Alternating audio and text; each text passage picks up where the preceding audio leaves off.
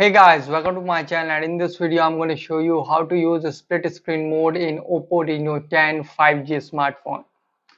Okay, to use it, first open an application. Now swipe up with three fingers to go in split screen mode. Now open the another application. This is to adjust the length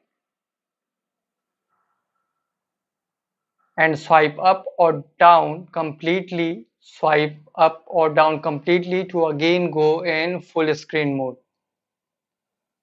Just open an application, swipe up with three fingers to go in split screen mode. Now open the another application or swipe up or down to again go in full screen mode. And if we go in recent tasks and uh, tap on top right corner, so here you can see split screen, tap on it to go in split screen mode like this and open the another application to use the multitasking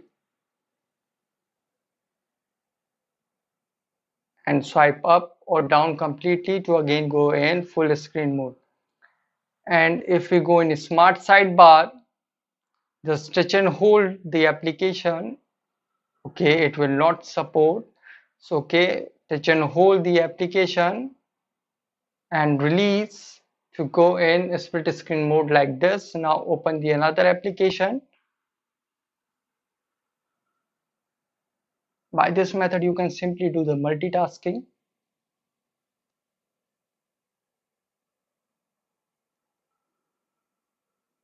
Or swipe up or down completely to again go in full screen mode